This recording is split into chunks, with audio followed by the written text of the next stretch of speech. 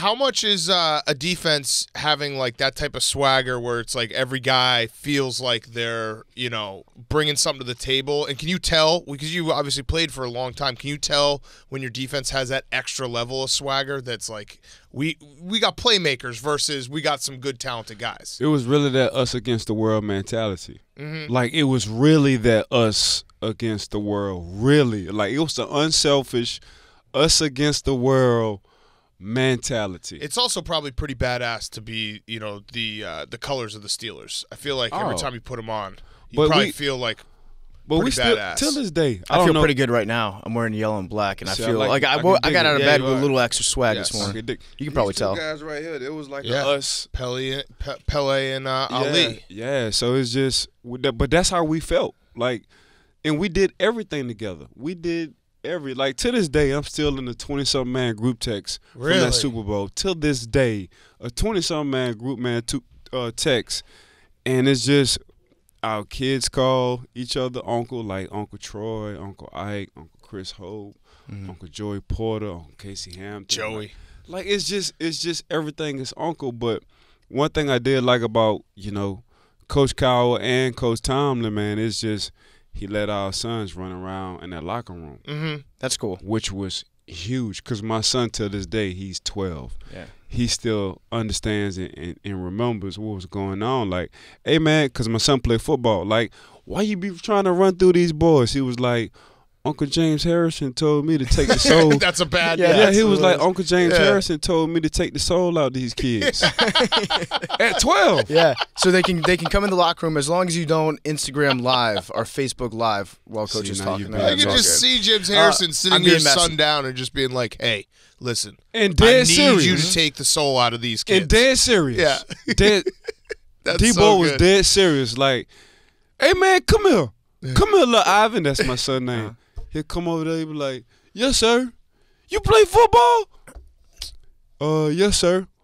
You any good? Well, I'm just starting. When you hit him, make sure you take the soul out of him. Okay. That's so That- that's great. So wait, back up for a second. You said you're in a 20 person group text.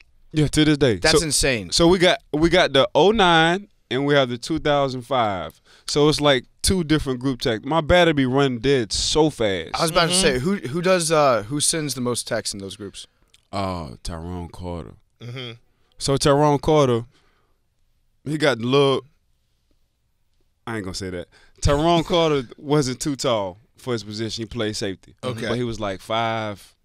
He probably say he like five nine, but he really like That's a five. six. classic Yeah, no, short nobody guy would thing say to do that. that. You know yeah, exactly Five, Yeah, yeah, so five he- nine guys. Five, no, he's guys no, he's love to say actually they're five nine. So he's from Pompano. And you were about to say little man syndrome. I'll say it for you. Yeah. That's not. It's not a real thing. It's like we're just normal Yeah. people. Like I'm not that little. We're actually average That's what I'm saying, five nine. Yeah. That's what I'm saying. Okay, thank for- you for not saying that. Then.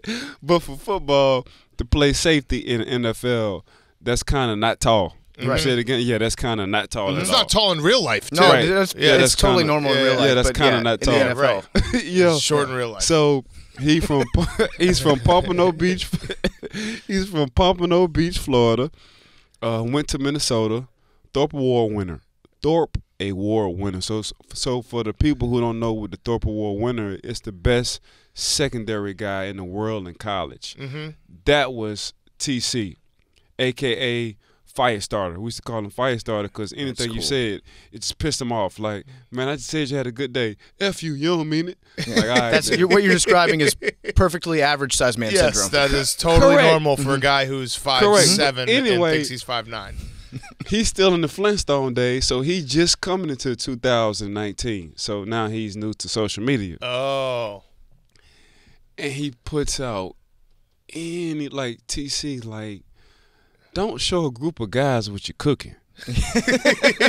like, don't nobody want to see what you what Right. you what you cooking, right. Because he has a kennel of dogs. TC, don't nobody want to see you cleaning up your kennel of dog poop. Yeah, Right. Come on, man. Right. Just- Would not just poop. Show us the cute dogs. But Yeah, that's little TC. He's so, he's so far behind. Yeah. I'm talking about 19 years behind. Yeah. So far behind.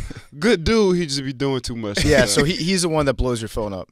he everybody. Yeah, basically. So, Yeah. um, I was reading your Wikipedia earlier. Uh huh. I think you're the fastest person to ever appear on Pardon My Take. Probably one of them. Uh, Patterson well, and you. by the 40. Chris Johnson. Chris, Chris Johnson. Chris That's my dog, Yeah. CJ. That's So- So, dog. so you, but you actually were timed in 4.18 seconds for the 40 yard dash. Is yeah, that that's true? not- that sounds I- like I some Louisiana so cooking. fake. Yeah, yeah. Yeah. Four four two seven was my fastest time. Okay, so the pro day one, that was just like that was your coaches being like, yeah, you totally ran a four. Yeah. Yeah. We that was need a probably draft yeah, yeah, yeah. Somebody probably was asleep. Okay, and so- woke up and like, oh, four one. What? Yeah, that's really fast. right. So, um, I heard that you used to train. Uh, you used to train your quickness in a very unusual way. hmm You used to chase animals around. What? What? Man, my uncle was old school. Like, and that's and that's and I didn't know that that was kind of the norm in Florida. Like, Yeah. them boys go in the fields and they they really chase rabbits. Mhm. Like, that's what they do. Like, I was just doing that because my uncle was like, man, this will get you better and faster and quicker. Yeah. So I was just doing that just cause because I always had that drive, a good work ethic. But you go down in Florida, where Fred Taylor is from, where Santonio Holmes is from, they call it Muck, Muck City, Yeah. Mm. Yeah. Muck City, Florida. That's what them boys really do. Yeah. Them boys really chase rabbits. They run So- into that high grass stuff Correct. and the, yeah. and they and they get to chasing. Yeah. makes you quick, right? I mean, it's all mental. I well, I- Do, the- now, have you ever caught a rabbit? No, I got close. You know, it's it's it's the ski skirt. They got the ski skirt. Like The I'm not hesitate. built. If you get me straight ahead, I'm Right. good. But the the ski skirt, right. Mm-mm, I'm you not got, good so you touched skirt. one? You ever touched one? Like a flag football? You get them down on flag football? with a rabbit. Yeah. No, I mean I touch a, a human being in flag football. no, but I'm saying like, if you gotten that close where you've like, oh, I got I've, I've gotten it? I've gotten real close and Yeah. got nervous. Yeah, yeah. Because what are you gonna do? What do you do when like I'm gonna I'm gonna catch the rabbit? Then what? the dog chasing the car and then they finally get it? It's Right. like, uh oh.